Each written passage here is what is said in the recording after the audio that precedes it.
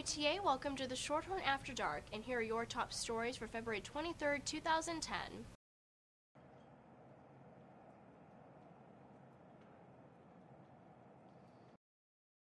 With the help of a specialized van, Arlington officials are entering the second cycle of mapping and analyzing road deterioration in the area. The van is equipped with infrared lasers that scan and map out cracks and potholes, as well as four cameras that take photos to document the conditions of sidewalks and street signs.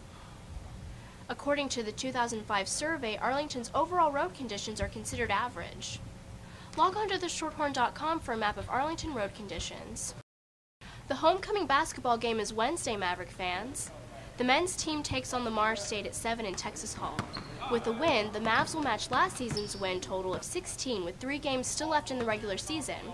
Keep a lookout for senior guard Marquez Haynes as he's just 16 points away from breaking the Maverick single season scoring record. Before you can cheer for your Mavs, be sure to come out at noon to see the homecoming activities officially kick off. The day starts with the boom at noon when Corps of Cadets shoot their cannon, Little Bertha the Fourth, to signal the beginning of the pep rally, followed by the golf cart parade.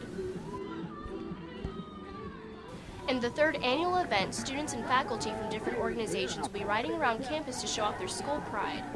The parade will start on South Pecan Street near the bookstore and end in front of the Central Library. A hazardous weather outlook is still in effect for North Texas, although we had little to no accumulation of snow on Tuesday. Regardless, be on the lookout for icy roads later tonight and during your morning commute as they may begin to freeze over. Some students were forced to make adjustments, while others enjoyed the thought of another wintry cancellation. Uh, my day changed a little bit uh, because of the snow, because it made it a bit harder to ride my bike because the snow was just all up in my face and so I guess uh, it's a bit slower walk going around because I have to walk, and it's colder too. I actually thought it's, it's going to be much more snow today, uh, like the previous week or so, but anyhow, it's kind of fun and it's, it's kind of cool. It's better than the hot climate, right? Conclusion Wear a jacket tomorrow.